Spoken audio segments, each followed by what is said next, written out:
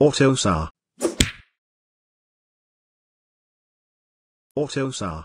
Classic Platform R1911. Software Architecture.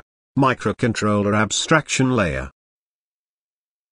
The microcontroller abstraction layer is divided into six module groups, which group software modules of similar type. In this case the software modules are internal drivers.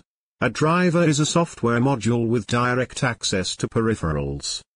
The internal peripheral devices are shown in the hardware layer.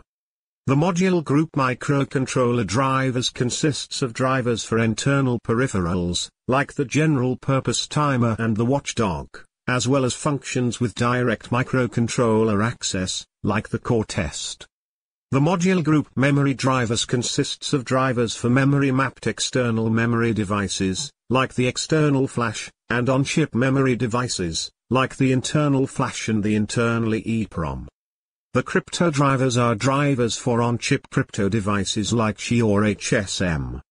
The wireless communication drivers are drivers for wireless network systems, which cover in-vehicle, or off-board communication. The module group communication drivers consists of drivers for ECU on-board communication, like SPI, and vehicle communication, like CAN.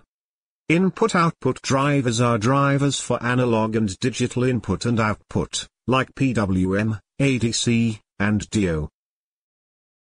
If you want to learn more about AutoSAR and other interesting topics, go to embeddedacademy.com.